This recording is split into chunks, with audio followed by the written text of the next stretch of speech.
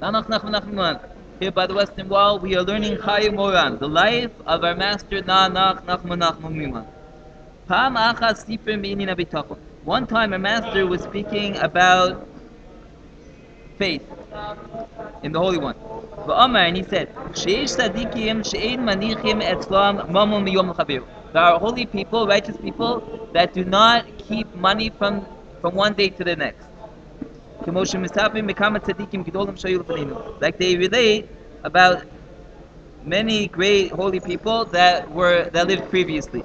Kigona Baal Shem Tov Zal, like the Baal Shem Tov, the starter of Chassidus, of blessed memory, Vatzadik HaKadosh Morenu Rav Elimelech Zal, and the Noam Elimelech of blessed memory, the Chiyot Bem and similar great tzaddikim. Shebechol Yom V'Yom, every day, Hayu Mefazrim Kol HaMamon Shaya B'Yadam, they would give out all the money that they had, and they would not leave with themselves any money from one day to the next. V'Omar, and our master Nanach Nachman Nachman said. Person has to be a big personality, big, a big creature. To be strong in his faith and to stand, stand his ground. Ki im shogim bazet akalo. Because if one makes even the smallest mistake in this matter, lo tov, it's not good. So it's a very high level to be doing what these tzaddikim were doing, that every day they gave away their money and, and they lived on faith that that uh, that the Holy One would send them new money the next day. But there is a much greater level. That a true righteous person holds on to his money. And this is much harder. Because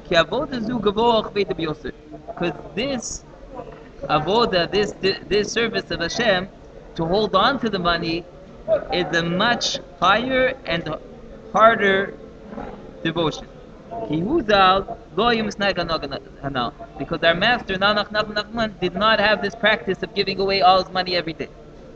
But Omer came upon him, and he said many times, that this is much, much more difficult.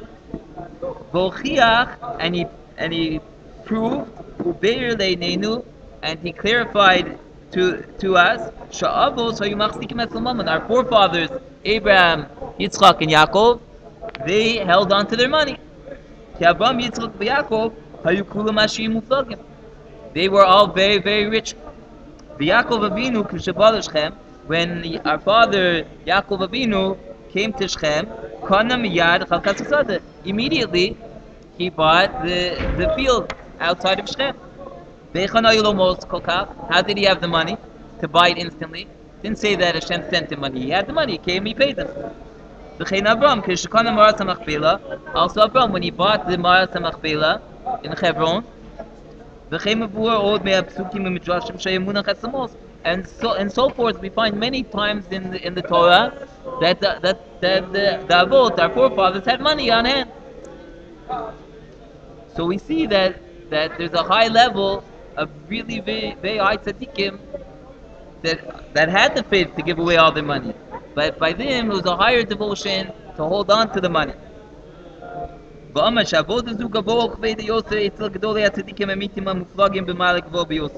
And he said that this devotion is much higher and more difficult by the great, true, holy people that are on a very, very high level.